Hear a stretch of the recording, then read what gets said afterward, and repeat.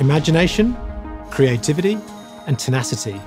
I think they are the most important traits of our team. Imagination to dream, creativity to solve problems, and the tenacity to endure the setbacks.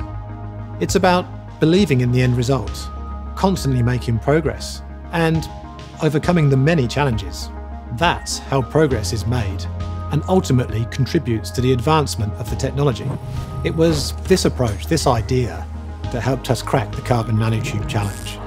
And our carbon nanotube technology is a platform for many new modalities in X ray. The possibilities are endless